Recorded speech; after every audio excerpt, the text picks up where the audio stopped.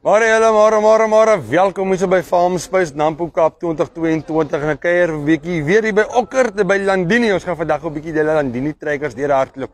So kom ons hoor hulle wat is nuut in die stal en wat gaan ons aan? Okkert môre? Ja, nou môre weer eens. As hy. Sien jy uh, weer lekker om by julle te kuier? Elke dag is 'n uh, plesier. Galandine het maar 'n manier om jou te laat terugkom, jy weet. fyn bereik, fyn bereik daai net. ja. Ook dit sê gou vir ons, ehm um, Landini trekkers, ons gaan julle 'n lekker reeks hierso, ehm um, of julle van van klein na groot. So uh, ek dink vat ons net so 'n bietjie deur die trekkers wat julle het. Ons hoef nie te veel stil te staan dink ek by die specs nie maar net so min of meer gee vir ons net so oorsig vir elke trekker. Ek weet hier's julle het een of twee trekkers wat nou nuut is. Ons kan 'n bietjie by hulle stil staan en dan kan ons kyk wat is nuut rondom hulle. 100%. So wat is die eerste ja. Solus? Intree vlak trekkertjies by ons is die Solus reeks. Ja. Nou ons gaan van 13 kW, dis 'n model nog kleiner as hierdie enetjie. OK. Hierdie betrokke trekkertjie is 18 kW en dan deur verskeie spesifikasie opsies gaan ons op tot en met 81 kW. OK, OK. Soos ons gesê het, hier het ons 'n 6-spoed transmissietjie. Hierdie is natuurlik ehm, 'n um, baie unieke produk in die Solus. Ek sien hierdie ding is vir my, dit is so meer heavy duty ride-on lawnmower mower wat vir my meer lyk na die moeite werd. Korrek ja, jy het eers 'n hidrostatiese transmissie op hom wat wat ideaal is vir vir grassny. Ja. En dan 'n 1.5 meter snydek onder hom. En natuurlik die bande ook.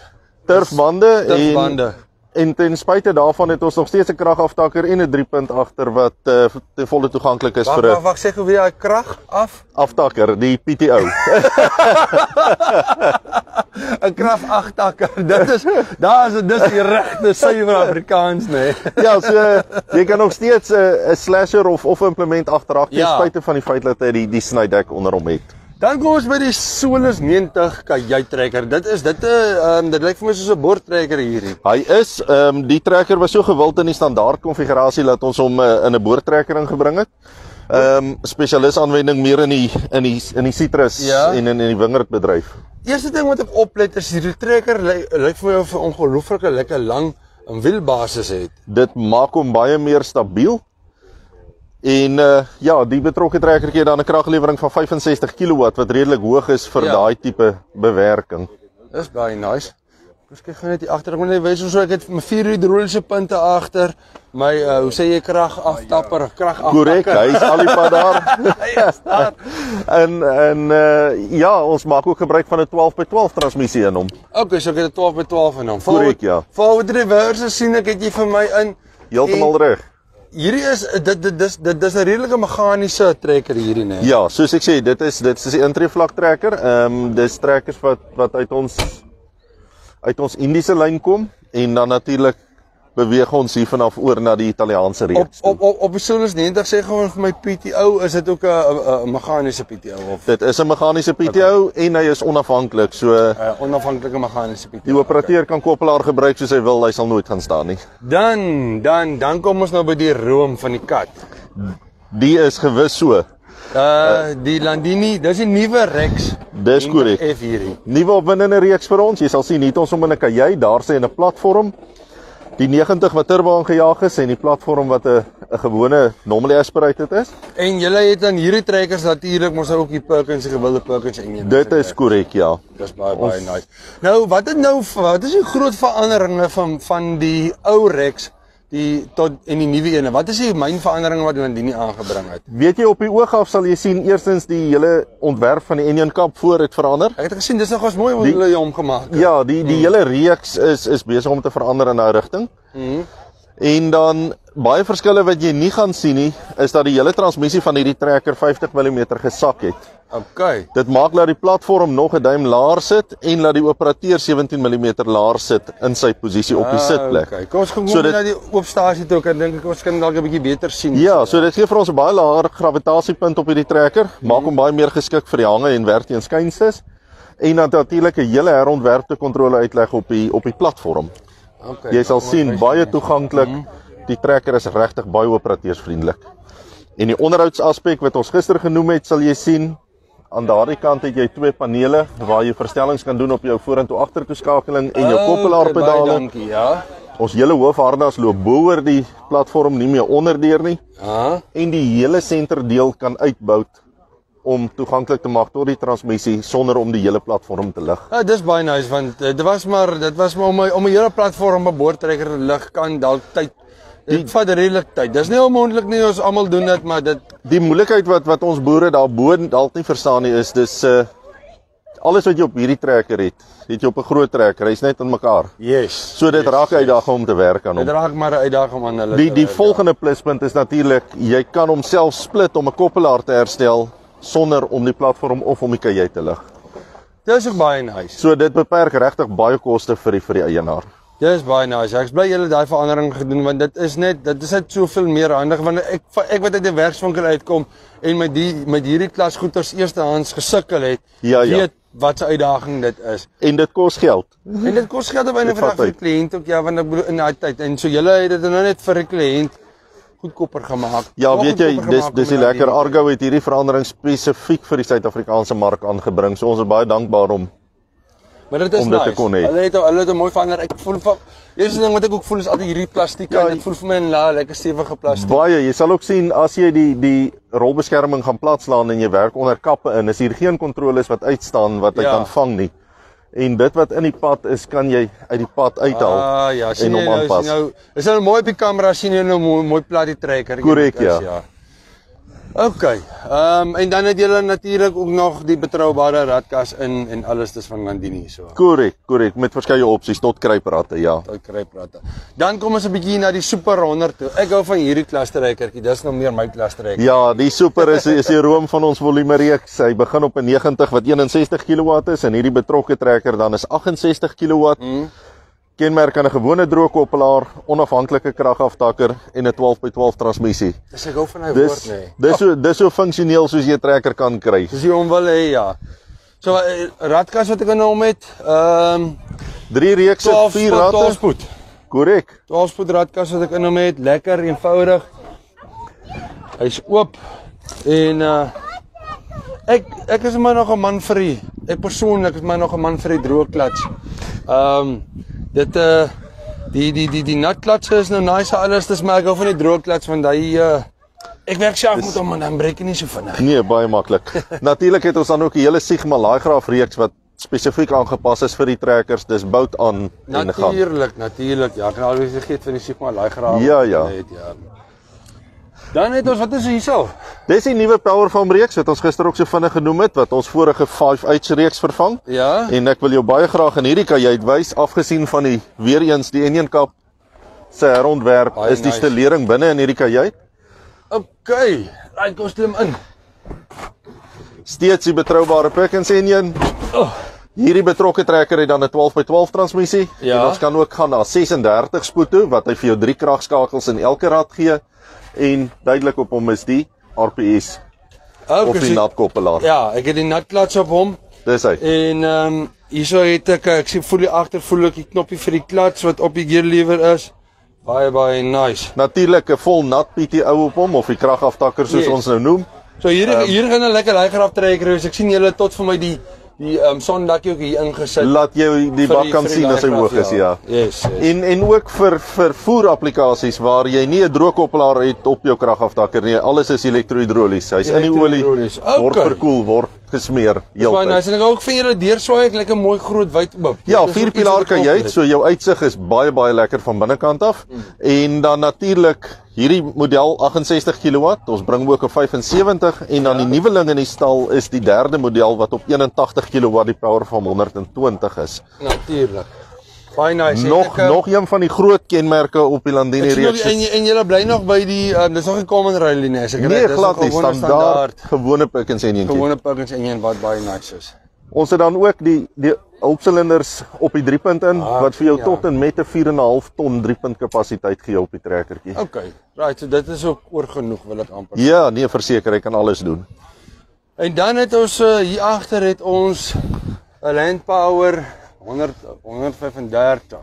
Dis korrek. Dit is dan die tweede grootste in die Landpower reeks. Hy het 4 trekkers uit.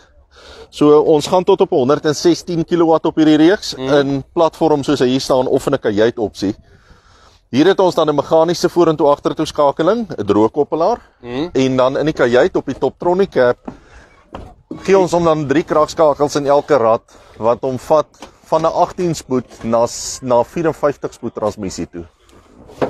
Baie baie nice. Funksioneel langwielbasis 6-silinder trekker. Dit is die werkesel. Dis die werkesel ja. Die ene wat die dus sleep in die land en al daai lekker. Ja, hier gaan ons dan 'n bietjie meer na primêre grondvoorbereiding toe. natuurlik, natuurlik. Ja. Hulle doen nie 'n lekker wye reeks nie. Hulle het ehm um, hulle het iets vir hulle het amper iets vir alles vir jou. So. Dit is definitief. So nee, wat ek weet julle ag ek dink ek dink ek dink die die die die naam in die veld praat vir homself. Ehm um, julle julle doen goed, die verkope doen goed. 'n Mens kan dit sien, jy kan dit agterkom sien dit in die syfers ensovoorts. En ek weet nie hoe julle dit regkry nie, maar uh prys by julle is altyd goed. So Ons ons begin vroeg. ek gaan nog uitvind hoe julle dit regkry. Hoe dit volhoubaar is. Ja, nee. Maar dan sien ek nou net ehm uh, yes, dan het, sien ek dat julle vir ons hierso 'n paar rooi toerusting uh, masjiene ook. Vertel vir ons gou 'n bietjie meer van julle rooi toerusting. Ja, ja, nou so jaar terug het Masio Gaspardo deel gevorm van die van die Argo reeks. Ja. Ons het begin met die balers wat ons nou by sal kom en so het die reeks uitbrei. Hierdie is dan die die eerste snymasjien wat ons het. Ja. Ons het hom in 'n in 'n meganiese druk op die bed, die die vere wat jy hier sien Yes, of ons het hom ook in 'n hidroliese opsie. OK. Hierdie is natuurlik nou soos die soos die Brit sou sê, 'n center mounted masjien. Yes, yes. So jou bed hang reg in die middel mm. van hom. Ons het 'n 'n quick change ehm um, lem vervangstelsel op hom. Mhm. So dit is regtig baie vinnig om binne minute lemme te vervang. Lemme Hierdie is 'n 2.6 meter en ons gaan tot oor die 3 meter op hom. OK, en en 'n 3 meter op 'n 3 punt. Op die 3 punt, korrek ja. Julle uh, is hy in 'n kneeser um, ook beskikbaar? Kneeser is wel ook op hom beskikbaar, ja. OK. Bargain. Dan ehm um, neem ek aan dit is julle rapper hierdie. Dis korrek ja. Ons werk nie eintlik agteruit. Ons ons moet eerlik sny en dan baal en dan rap, maar nou is ek eers by die rapper. Nee, 100%. Ook weer eens twee opsies. Jy sal sien hierdie praat ons van die single wrap. Jy het een arm Ja. en op die double wrap het jy twee arms wat natuurlik dit baie vinniger maak. Ek sien julle julle uh, ehm um, gebruik julle nie 'n beld wat hier oorloop nie. Is dit Nee, nee, glad nie. Die die Okay. die die hele die hele stelsel kantel vorentoe. Jy het hierdie twee hierdie dele wat jou bal optel, hy plaas hom bo op die bed en daarvan af begin hy Ons omdraai. het julle daarop.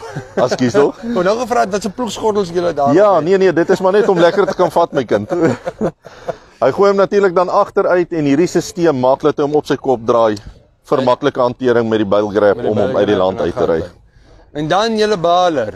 Ja, drie modelle. Hierdie is die vlaggenskap in ons reeks. Dis die Mondiale 120. Yes. Hierdie is dan 'n router 4, ag 'n router katbaler. Jy sal sien die lemme wat daar in die invoerrotor is. Ja, natuurlik ja, daar kan ons Natuurlik 'n dropfloor onder hom vir as jou baler pak om vinnig van die blokkade ontslae te raak. Okay. En ons maak gebruik van 19 versterkte rollers. Jy kan sien hoe die versterking deurdra op Yes. hierdie rollers. Ek ek sien ja. Dis 'n hoë kapasiteit swaar diensmasjien En, en ehm, uh, is- baie baie eenvoudig. Hierdie is jou gewone uh 1.25 bale net. Dis korrek. Yes. Ehm um, Ons ons is. ons maak gebruik van 'n sentrale grease-stelsel. Jy kan na 'n volautomatiese stelsel toe gaan. Ek sien ja. Die oliesisteem is standaard vir die borseltjies op jou swaar diensketting Yes.